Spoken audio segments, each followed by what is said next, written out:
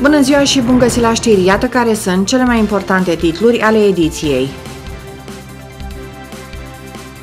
Spitalul din Onești va avea angiograf.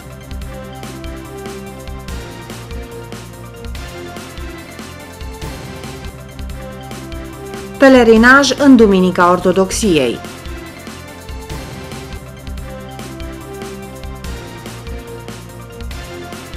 Jafcam Filme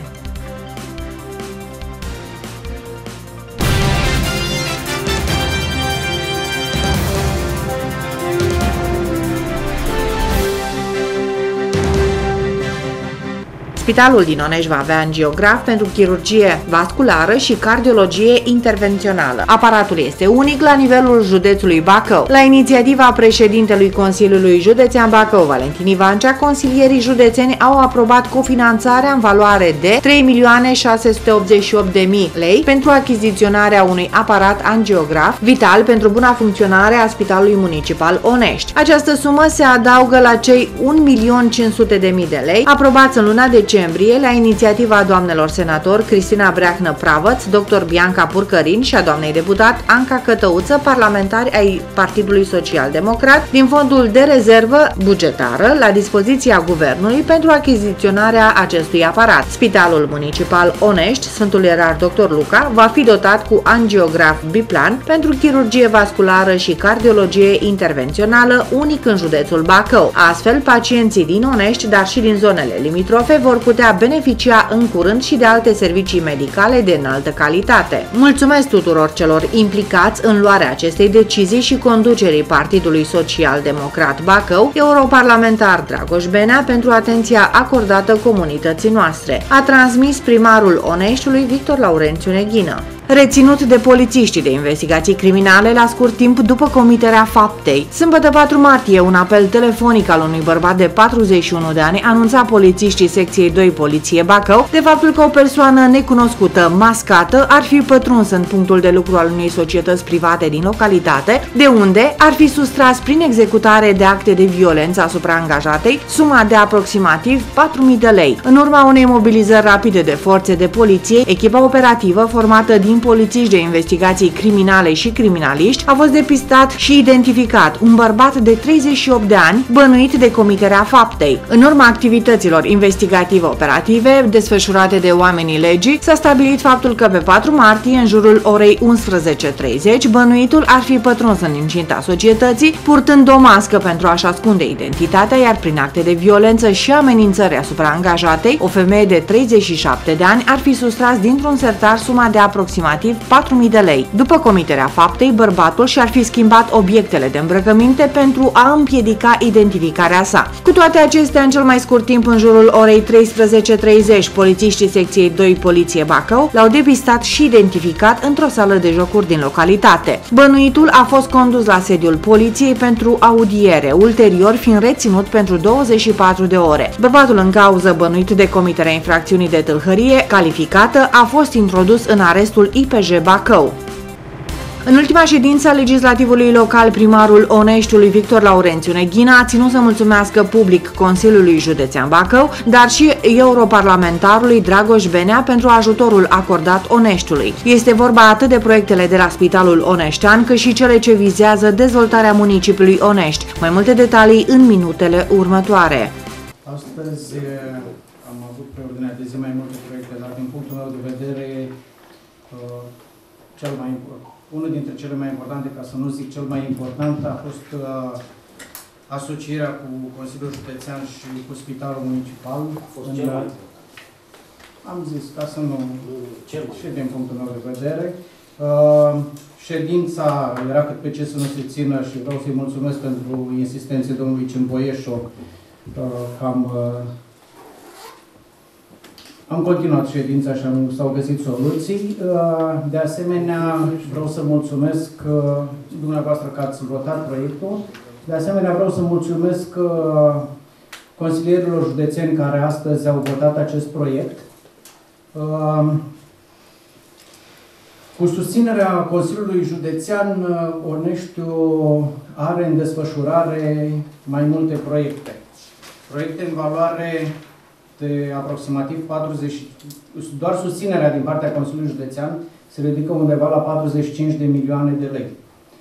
Uh, fără acești bani, aceste proiecte au fost, uh, ar fi fost, sau parte dintre ele ar fi fost uh, aproape imposibil, sau o parte dintre ele ar fi fost imposibil de realizat. Vorbim aici de calea industriilor, 20, peste 20 de milioane susținere de la Consiliul Județean. Uh, cofinanțarea pentru piațeta casei, realizarea piațetei Casei de Cultură 5 milioane, biblioteca, reabilitarea bibliotecii 5 milioane. Un alt uh, proiect important uh, este drumul Carac Calea Caraclăului, undeva unde și acolo vom primi peste 10 milioane de lei pentru a realiza acel proiect. Uh, în perioada următoare lucrăm la Dali pentru uh, drumul dinspre Gura Văii. Tot în perioada următoare va exista, probabil, uh, o asociere și pentru sala polivalentă. Vom primi un sprijin de aproximativ 6 milioane de lei. Sunt proiecte extrem de importante. Dacă nu am fi avut uh, această susținere, cu siguranță anul ăsta uh, introducerea gazelor în cele două, în cele patru cartiere, Delci, uh, Slobozia, uh, Crucea de Piatră și Borzești, nu s-ar fi realizat. Uh, uneștenii care vor aprinde aragazul sau vor porni centrala trebuie să știe că dacă nu aveam susținerea pentru celelalte proiecte, banii din cofinanțări, uh, banii pentru aceste gaze ar fi trebuit să meargă obligatoriu către cofinanțări, pentru că dacă nu realizam proiectele europene în speță, piațetă, sala polivalentă și biblioteca, nu asiguram cofinanțarea la aceste proiecte, uh, am fi pierdut, ar trebui să înapoiem banii și nu mai puteam depune alte proiecte pentru finanțare. Deci, dacă nu aveam susținerea pentru proiectele alea, nu puteam celelalte proiecte să le realizăm. De asemenea, tot în uh, această vară intenționăm să reabilităm trotuarele din zona de sus sau orașului, așa cum bine știți, peste 7 milioane de lei. De asemenea, și acești bani ar fi mers uh, tot în uh, tot spre cofinanțări. Uh, de aceea vreau să, încă o dată, să mulțumesc consilierilor județeni, să mulțumesc uh, domnului uh, vicepreședinte al Consiliului Județean, a cărui susținere o avem, care este Orneștean, să mulțumim și să mulțumesc domnului președinte Valentin Ivancea, inițiatorul acestor proiecte. Și nu în ultimul rând, poate Uh, cel mai important, în mod deosebit, vreau să-i mulțumesc uh, domnului uh, europarlamentar Dragoș Benea, a cărui susținere și deschidere o avem tot timpul în susținerea Oneștiului. Încă o dată mulțumesc tuturor celor implicați în realizarea acestor proiecte.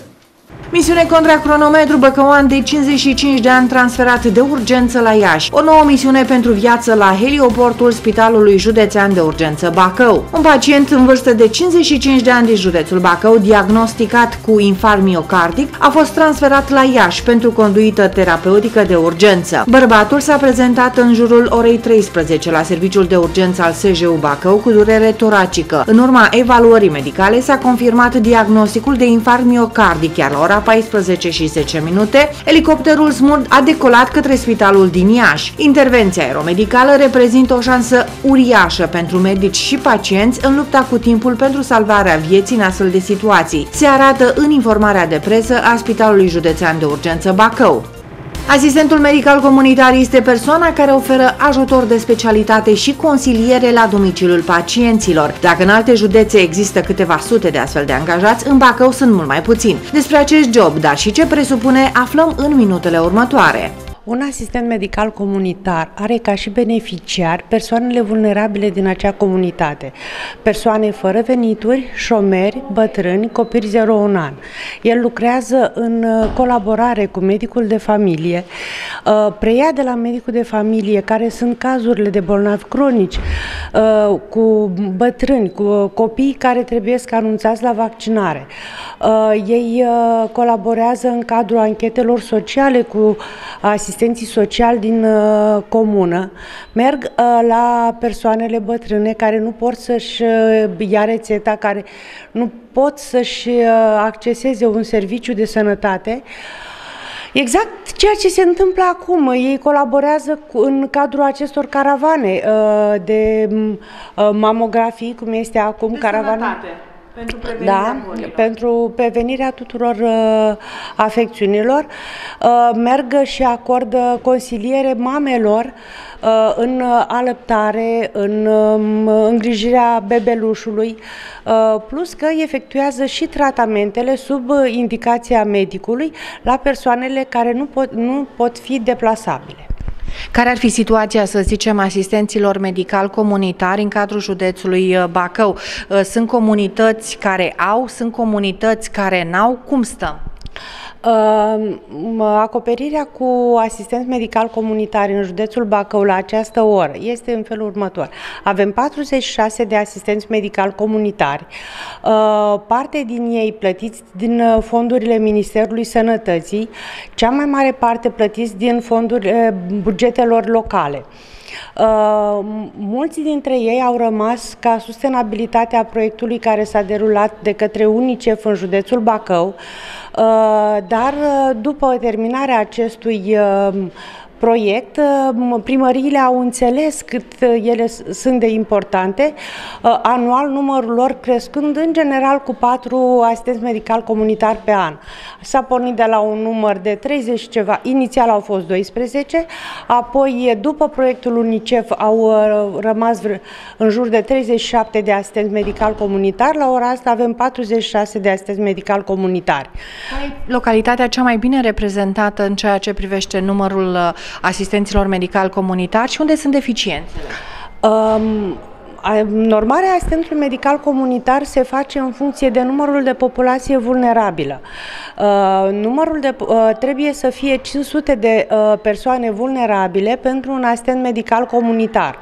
Avem localități cum sunt Bacăul, unde sunt trei asistenți medical comunitar, dar raportat la numărul persoanelor vulnerabile, aș spune că este insuficient.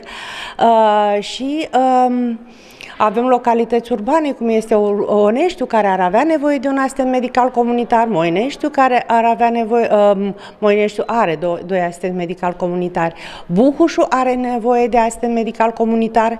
În Buhuș, în schimb, avem doi mediatori sanitari. Mediatorii sanitari sunt persoane care nu au pregătire medicală, dar ei intervin în comunitățile uh, de romi uh, pentru a sprijini această populație să acceseze uh, uh, servicii sociale. Uh, sunt foarte importanti și mediatorii sanitari, sunt persoane uh, extrem de bine pregătite. Uh, am mediatorii sanitari de la Buhuș, de la Comănești, de la Gura Văi, unde avem uh, uh, populație uh, romă, Moineștiu, avem uh, uh, mediator sanitar, dar totuși un asistent medical comunitar este imperios necesar uh, a fi angajat în toate. Uh, Bacăul are 93 de localități și avem uh, doar uh, revin 46 de asistenți medical comunitari. Uh, procentul e cam micuț, așa să zicem.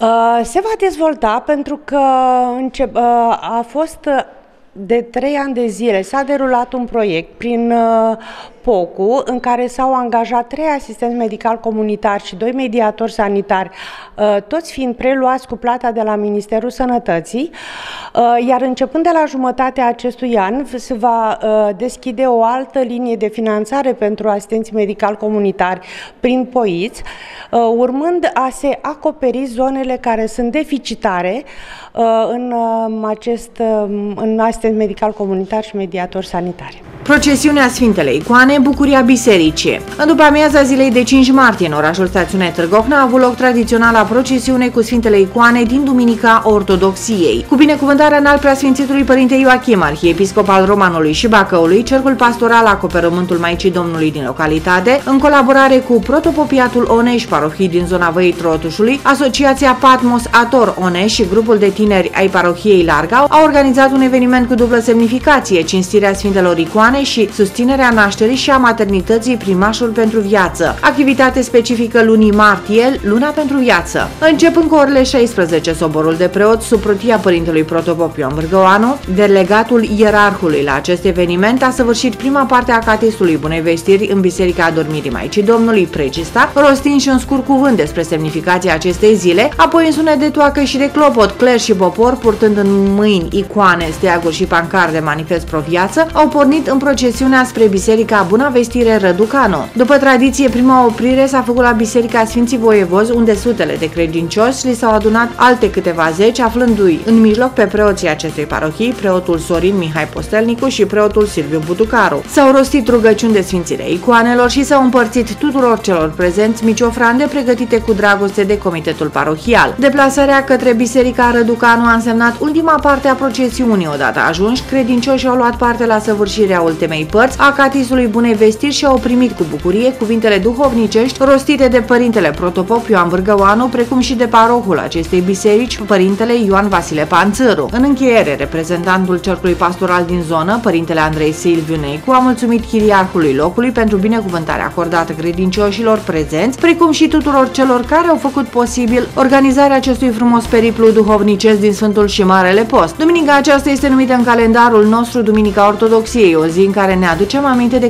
credința noastră strămoșească, de credința în care ne-am botezat în numele Preasfintei Treimi de Biserica Dremăritoare, care îndeamnă pe fiii săi să țină predaniile lăsate de Sfinții Părinți.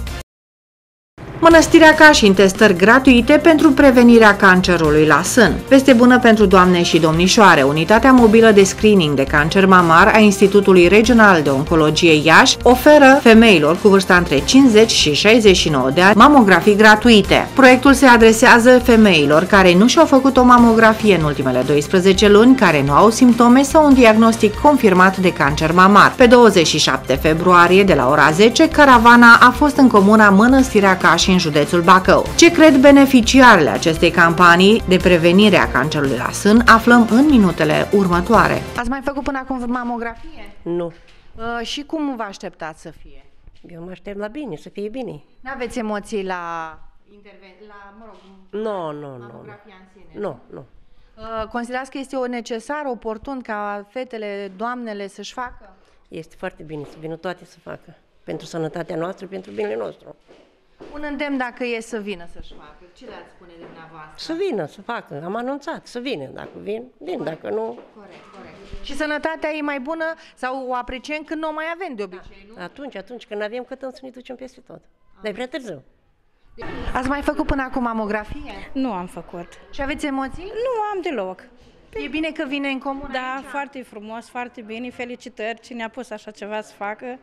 E necesar. E necesar, sigur, pentru sănătatea noastră. Pentru doamne. Pentru doamne, domnișoare, care vor să vină, cu mare drag, îi așteptăm pe toți. Uh, și faptul că e gratuită. că Faptul până la este urmă, când că e mergi- gratuit, plus când mergi la medic, trebuie să ai trimitere, să fii asigurat să mergi uh, da, la toate investigațiile astea care cu drag așteptăm fiecare să vină.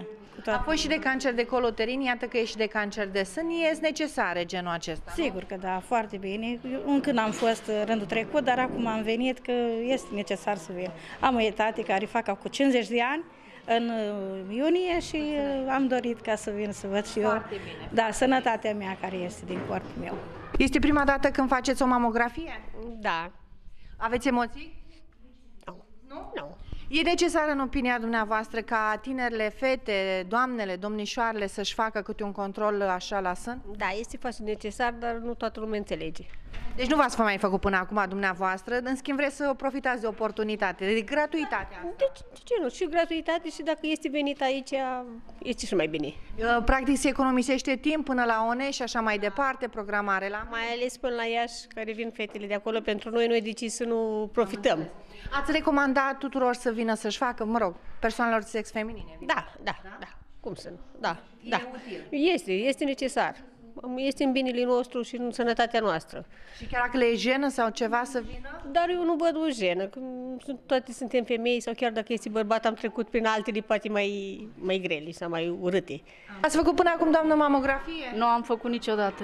Dar de ce n-ați făcut? Posibilitățile, Da? n-am fost uh, asigurat, bani, nu, cu ce să te duci. Sunt o femeie simplă, Am înțeles. Și e bine că vine așa în comună la dumneavoastră? foarte, foarte bine, pentru că nu uh, toată lumea are posibilitatea să meargă să-și facă uh, un control. Și economisiți și timp și bani? Și timp și bani, dar în primul rând bani. În primul rând bani. Asta e pe primul loc, că nu avem. Îți puțin. Sunt foarte, foarte puțin. Am înțeles. Uh, aveți emoții de examenul în sine, un pic așa? Chiar am, da. De ce? Pentru că n-am făcut niciodată și uh, nu știu ce mă așteaptă. E, oricum ce poate fi mai rău, la câte greutăți ați avut, cred că asta e... A, a, deci nu mi-e teamă de controlul în sine, mi-e team- teamă de rezultat. Păi dacă nu aveți probleme, Uh, Cam, uh, cam cu virgulă, a? cam cu virgulă. Am înțeles, eu zic că Dumnezeu e mare și o să Asta-i, asta-i. Un De- îndemn dacă e pentru cei care ne urmăresc, pentru fete, pentru doamne, să vină să-și facă. Să-și vină chiar dacă au dureri, chiar dacă nu au dureri, să vină să-și facă controlul din timp. Da? Că e foarte important. Pentru sănătate, cel mai important. Cancerul de sân este o formă de cancer care afectează femeile, dar și bărbații, dar în, într-un procent foarte redus. Este a doua formă de cancer care uh, ia viața femeilor, ca să zic, uh, după cel pulmonar, uh, debutează din celulele care constituie sânul sau chiar la nivel uh, uh, ganglionar, al ganglionilor ce uh, comunică cu sânul. Uh, ca și, spuneți-mi dumneavoastră dacă Uh, întrebări, adică când ar trebui sau cât de des ar trebui o femeie adultă să meargă la medic pentru investigații? Da, uh, începând Regulă. pentru a fi depistat precoce, ca să zic așa, în fază incipientă, el uh, are o posibilitate de, de uh, tratare, ca să zic așa, este indicat ca de la 30 de ani fiecare femeie să meargă uh, la un control uh, ginecologic uh, care constă în examinarea efectivă a sânilor, mamografie și chiar ecomamar, urmată de ecomamar. Uh, Mai târziu, uh, frecvent este întâlnit după vârsta de 50 de ani și după 50 de ani femeile sunt uh, uh, orientate către consultație anuală cu mamografie urmată de ecografie mamară. Ceea ce trebuie să facem noi femeile este ca lunar să ne palpăm sânii. Ca să ne dăm seama că este o problemă, uh, vom uh, simți efectiv la palpare un nodul uh, cu marginile neregulate, nedureros, foarte rar este dureros, și acela ar trebui să ne dea semne. Alte manifestări uh, că există o problemă mai pot apărea la nivelul pielii chiar, cu uh, răni la nivelul tegumentului, uh, cum să vă zic, cu umflarea sânului, cu retracția mamelonului și mai sunt și alte manifestări. Deci, cu alte cuvinte, o femeie ar trebui să fie un pic mai atentă la ce se întâmplă cu corpul ei și dacă sunt semnale de alarmă să meargă la medic. Sigur că da, sigur că da. Și încă un lucru pe care trebuie noi să-l știm este că trebuie să ne gândim în felul următor. O femeie are predispoziție spre a face cancer mamar. Sunt femei care au în familie uh, cazuri de cancer mamar și atunci sunt predispuse să facă. Uh, Sunt uh, predispoziții, ca să zic așa, la femeile care au avut uh, debutul ciclului menstrual înainte de 12 ani, debutul uh, menopauzei tardiv, după 55 de ani, uh, femeile care au suferit o radiație la nivelul sânilor, uh, femeile care, dacă stau bine să mă gândesc, uh, Bine, pot fi și anumite lovituri la un moment dat care pot să apară. traumatismele la nivelul sânului sau uh, sunt femei care au uh, constelație genetică, dar nu fac cancer de sân. Important e mesajul care trebuie să-l audă doamnele domnișoarele să meargă la medic periodic și ori de câte ori e o problemă. Ori de câte ori e o problemă și dacă mi-aduc bine aminte și mi-au revenit uh, în minte sunt uh, consumul excesiv de alcool, lipsa gravidității la femei, dacă nu dăm naștere, lipsa alăptării, uh, emoțiile, îmi cer scuze, acelea sunt care ne, ne fac să, să mai pierdem din vedere unele situații. Deci, dacă avem una din aceste manifestări, în viața de dinainte, ca să zic așa, este indicat să mergem la medic. După 50 de ani, o dată pe an, de la 30 de ani, o dată la 3 ani și să investigăm. De la primele ore ale dimineții, doamnele din Mănăstirea Cașin s-au deplasat către locația aleasă în cadrul acestei campanii. De altfel, ele au beneficiat și de o scurtă informare despre acest dușman care lovește pe nesimțite.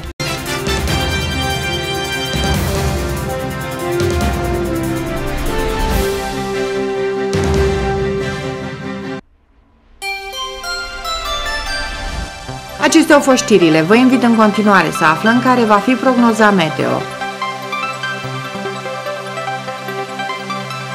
Marți, 7 martie, cerul va fi parțial înourat, mercurul în termometre urcă până la valori de 13 grade Celsius, iar noaptea minima coboară până la valori de 2, chiar 3 grade Celsius. Miercuri, 8 martie, cerul va fi parțial înourat, iar maxima zilei ajunge până la valori de 16, chiar 17 grade Celsius, iar minima pe timpul nopții coboară până la 5 grade Celsius.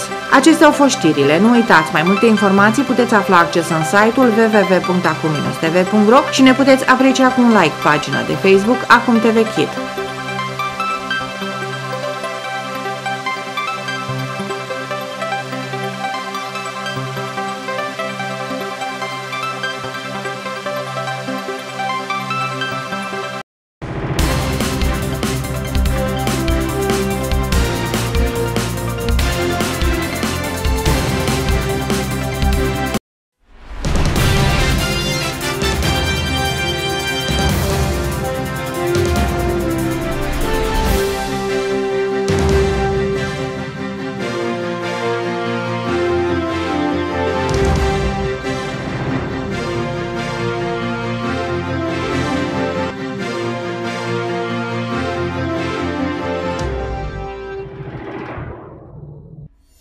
Acestea au fost știrile. Nu uitați, mai multe informații puteți afla acces în site-ul www.acum-tv.ro și ne puteți aprecia cu un like pagina de Facebook Acum TV Kit.